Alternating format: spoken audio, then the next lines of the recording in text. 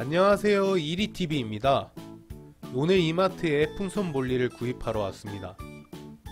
풍선 몰리는 배가 빵빵한 것이 특징인 물고기인데요. 사용 난이도는 중, 번식 난이도는 하이기 때문에 많은 분들이 찾는 물고기입니다.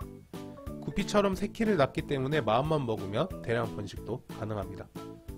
이마트에서는 3,000원에 판매되고 있었습니다.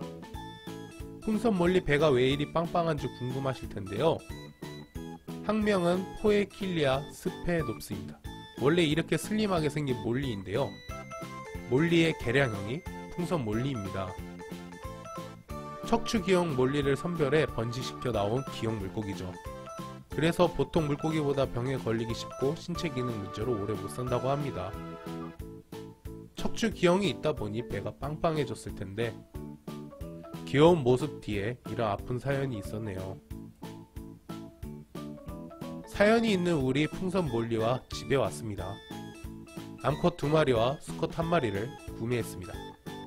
몰리는 멕시코가 원산지이며 담수는 물론 해안가에서도 서식한다고 합니다. 놀라운 사실은 구피와 몰리가 혼종이 태어나는 경우도 있다고 합니다. 염색체수가 달라 극히 드문 일이긴 하지만요. 풍선 몰리의 암수 구별하는 방법인데요. 등지러미와 배지너미를 보면 알 수 있습니다. 수컷이 등 지느러미가 화려하고 크고 배 지느러미는 축 늘어져 있습니다. 수컷 풍선 몰리입니다. 수컷이 더 화려하죠. 온도와 pH를 적응시키고 어항에 투입하겠습니다. 우리 몰리 대형 어항에 들어갈 시간이에요. 한 마리가 유영하면서 나가네요.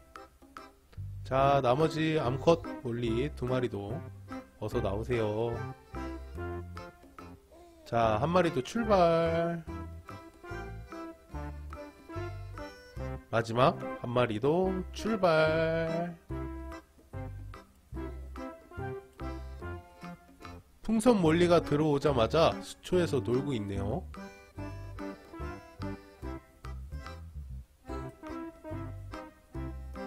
구피가 몰리를 보고 신기해서 따라가는 모습입니다.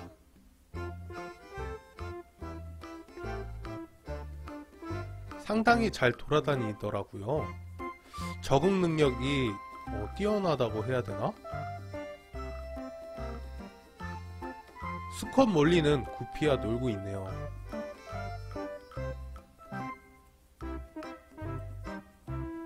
배가 고픈 모양입니다. 물고기가 배가 고프면 표면에 저러고 있죠. 상당히 자기들끼리 잘 몰려다니네요. 구피와 비슷하면서도 다른 매력을 가지고 있습니다. 구피와 풍선몰리의 공통점은 새끼를 낳는 것이죠.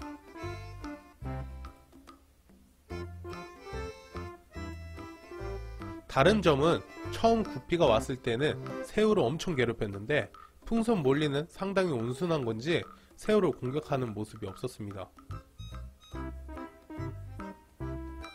평화로운 생물이네요. 자기네들끼리 몰려다니고 어, 그리고 뭐 구피와 싸우거나 뭐 새우를 괴롭히는 것은 없었어요. 시간이 조금 지나자 가보니 몰리와 구피가 같이 놀고 있어요. 친해진 모습입니다. 뭔가 흐뭇하네요. 이렇게, 다른 종들끼리 이렇게 잘 지내니까 뭔가 되게 평화로운 것 같아요. 적응도 빠르니 밥을 급여해줬습니다. 우리 구피가 와서 먹네요. 사료 적응이 아주 잘 됐습니다. 몰리도 달려와서 사료를 먹었습니다. 이렇게 적응을 빨리 하는 열대어는 어, 진짜 드물어요.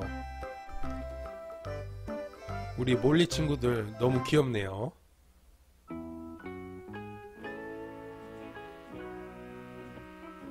오늘 준비한 영상은 여기까지입니다. 앞으로도 재미난 영상으로 찾아오겠습니다. 여러분들 안녕